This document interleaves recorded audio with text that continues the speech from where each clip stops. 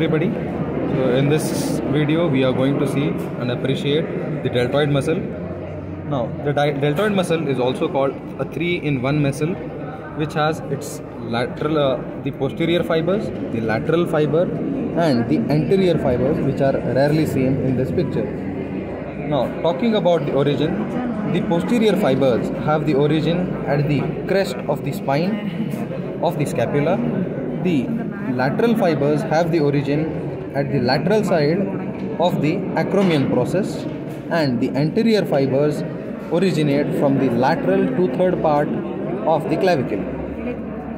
Further on, this muscle terminates or attaches to the deltoid tuberosity of the humerus.